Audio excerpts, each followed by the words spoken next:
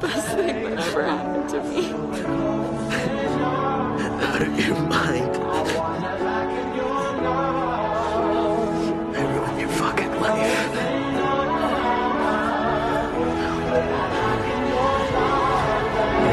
You taught me all of this.